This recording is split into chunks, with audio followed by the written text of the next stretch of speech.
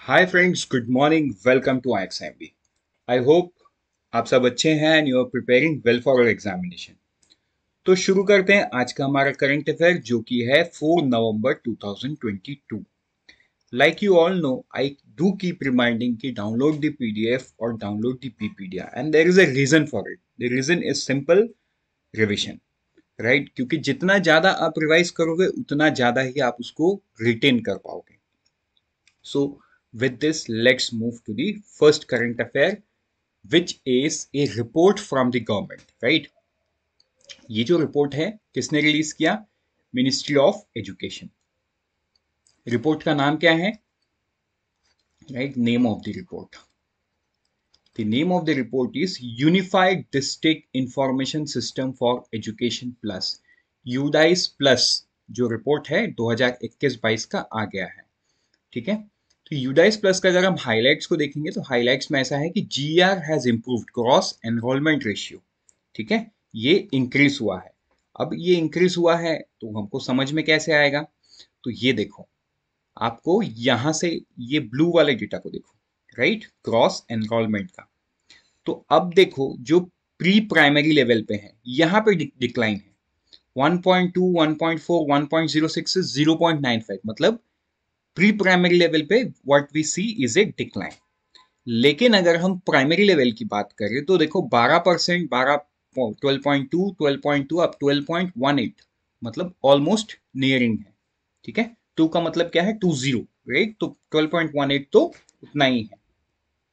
But in terms of number ये थोड़ा सा बड़ा है। अब अगर हम प्राइम अपर प्राइमरी की बात करें तो अपर प्राइमरी में देखो अच्छा खासा ग्रोथ दिख रहा है सिक्स पॉइंट सिक्स एट का। ठीक है? वैसे ही आप अगर सेकेंडरी में देखो तो ऑलमोस्ट सेम लेवल पे या थोड़ा सा नीचे जाता हुआ दिख रहा है 3.85 पे but in terms of number तो ज़्यादा ही है, वैसे हायर तो ये रहा ग्रॉस एनरोलमेंट का। लेकिन अगर हाईलाइट की बात करें more than 8 lakh new girl student enrolled in 21-22 मतलब जेंडर इक्वालिटी की तरफ़ थोड़ा सा जा रहे हैं, ये डेटा भी दिखा रहा है हमको। ठीक है? अब अगर हम बात करें स्टेट की तो Uttar Pradesh witness highest number of enrolment of student in government school and recruitment of teacher ठीक है? तो this is something very important point and यहाँ से एक डायरेक्ट क्वेश्चन बन सकता है कि कौन सा स्टेट या कौन सा राज्य। तो आपका आंसर होगा उत्तर प्रदेश।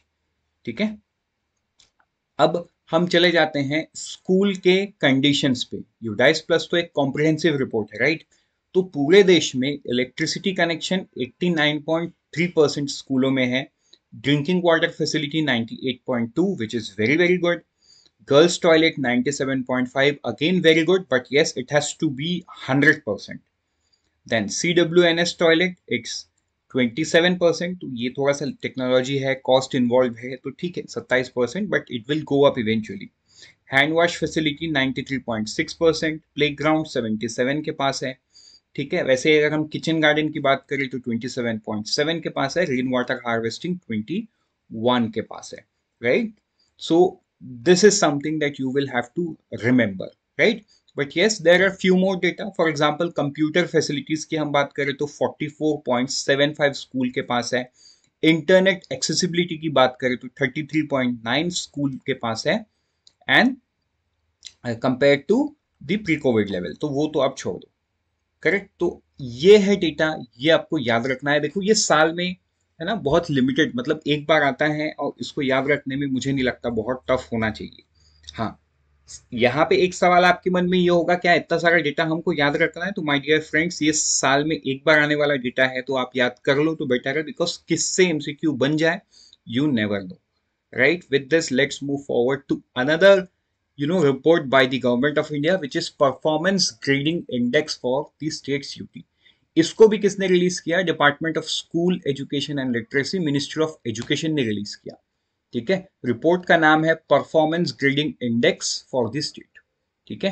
देखो, ये unique index for evidence based comprehensive analysis अब इसमें अगर हम हाईलाइट की बात करें तो हाईलाइट से पहले हम बात करते हैं स्केल की। ठीक है? मतलब इसको नापा कैसे गया है? एक तो इसमें एक हज़ार पॉइंट है अक्रॉस सेवेंटी इंडिकेटर्स ठीक है? कितना इंडिकेटर्स है? सेवेंटी एंड पॉइंट्स कितना है? एक हज़ार। मतलब जो ग्रेड उनको मिलेगा from zero to one thousand correct अब इसमें दो कैटेगरी है। ये जो 70 इंडिकेटर्स है, इनको दो कैटेगरी में बांटा गया है, ठीक है? एक सीधा सीधा है आउटकम दूसरा क्या है? गवर्नेंस मैनेजमेंट जीएम अब ये दो is divided into five domain ये ये बहुत इंपॉर्टेंट है राइट right?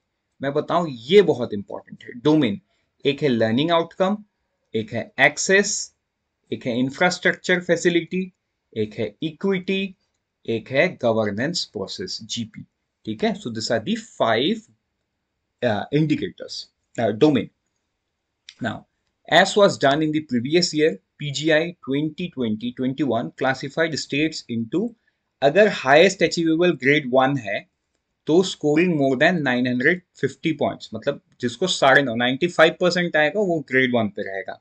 लोएस्ट लेवल क्या है? लेवल टेन है विच स्कोर बिलो 551 तो समझ में आया कितना लेवल है? From level one to ten ठीक है? ये वन किसको मिलेगा? जो कि साढ़े नौ सौ से ज़्यादा पॉइंट लेके आएगा, उनको मिलेगा ग्रेड वन और जिनका स्कोर है ना? स्कोर रहेगा बिलो 551 उनको क्या मिलेगा? लेवल 10 आई होप ये आपको क्लियर हो गया है right right?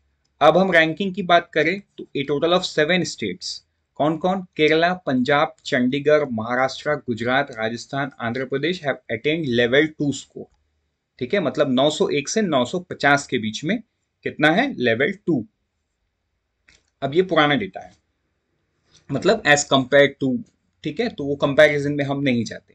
Gujarat, Rajasthan, Andhra Pradesh have the new entrance to highest level of state so far मतलब गुजरात, राजस्थान, आंध्र प्रदेश लेवल वन पे है।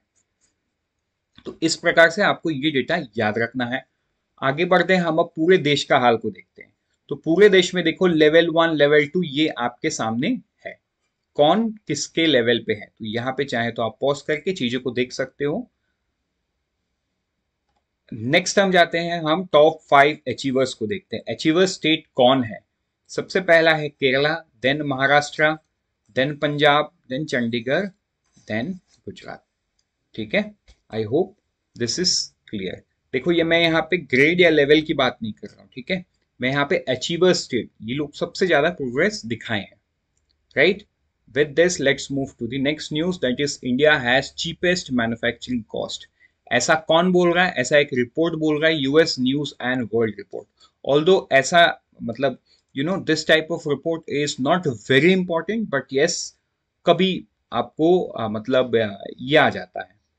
एक एमसीक्यू से बन सकता है बट इन डेप्थ में तो इसके बारे में नहीं पूछेगा बिकॉज़ ये कोई इंटर गवर्नमेंटल बॉडी नहीं है रिपोर्ट देने वाला एक news agency and world report है। ठीक है? तो इन्होंने 85 नेशन में से इंडिया को 31 पोजीशन दिया है and overall best country ranking ठीक है? तो अब रिपोर्ट का हाईलाइट ये है कि 85 country across 73 attributes attributes are group into 10 sub category मतलब 7.3 ऑन एन एवरेज 7.3 एट्रीट्यूब एक सब कैटेगरी के अंदर में है, ठीक है? तो ये आपको समझ लेना है।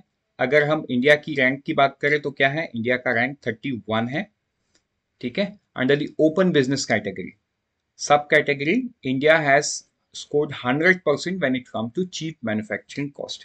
समझ में आ गया? तो this is you know one of the important development एक तरह से ये भी है। देखो, अभी ठीक एक दो दिन पहले ये भी न्यूज़ आया है कि चाइना फिर से लॉकडाउन लगा रहा है। मतलब ये न्यूज़ स्पेसिफिकली एप्पल को लेके आया है कि एप्पल का जो सबसे बड़ा मैन्युफैक्चरिंग प्लांट है चाइना में, उसके आसपास चाइना ने क्या कर दिया? लॉकडाउन लगा दिया because of corona and Covid right and vehicle restriction कर दिया है। मतलब इमरजेंसी व्हीकल सिवा कुछ नहीं चलेगा। सो दिस डज मीन वहाँ से सप्लाई चेन डिसरप्शन होना एकदम तय है। तो वो जगह को बैकफिल इंडिया कर सकता है। And you know this is the one area जहाँ पे इंडिया कैन टैप इन और बहुत सारे सेक्टर में has already tapped in because able तो आज इंडिया में भी मैन्युफैक्चर कर रहे हैं। Right right? तो रिपोर्ट में भी ये बोला गया है कि India has the cheapest manufacturing cost तो मतलब एक हिसाब से ये इसको पॉजिटिव नोट पे भी ले सकते हैं बिकॉज़ इसी चीज़ को हम in terms of money convert कर सकते हैं। Right right? हम बिज़नेस ला सकते हैं। We as a nation can bring business but on the other hand cheap manufacturing cost मतलब हमारे यहाँ के जो लेबर है, वो ज़्यादा मेहनत करते हैं बट कम सैलरी लेते हैं। तो ये भी एक फैक्टर यहाँ पे है। Right so everything has a positive and negative side of it and ये है इस इस साइड का positive negative with this let's move to the one liner वो है urban mobility India UMI conference and expo 2022 तो देखो, जो अर्बन मोबिलिटी इंडिया कॉन्फ्रेंस है, ये कोची में होने वाला है from today to six November 2022 इसको इनोग्रेट कौन कर रहा है? हरदीप सिंह पुरी, जो कि यूनियन मिनिस्टर है हाउसिंग एंड अर्बन अफेयर के, केरला के चीफ मिनिस्टर पिनेरा विजयन इसको आज के दिन में करने वाले हैं राइट अभी एक फ्रेंच नेवी शिप एकनर्ट इस नाम को आप याद रखो क्योंकि ये शिप है 2015 में विशाखापट्टनम आया था, उसके बाद ये शिप अभी 28 नवंबर से दो सॉरी 28 अक्टूबर से 2 नवंबर तक ये मुंबई हार्बर में था right where all the personnel of the French navy met the personnel of the Indian navy right but इसका बहुत डिटेल बाहर नहीं आता है एग्जैक्ट विज़िट क्योंकि this is related to you know something confidential ministry of defence का रहता है। सो so, जितना भी बाहर आता है वो इतना आपका लिखा हुआ बट उसके exact purpose of visit will still be unknown to the public right probably यहाँ पे जो लिखा हुआ है social interaction with personnel of Indian navy या ऐसा भी होता है ना कई बार शिप एक लंबा सफ़र तय करती है। तो even the personnel you know उनको भी एक रिक्रिएशनल uh, कुछ चाहिए। सो so, ऐसे कोई जगह पे उनको रोका जाता है एंड देन यू नो दो कंट्री के बीच में एक फ्रेंडली रिलेशनशिप भी हो बढ़ता है।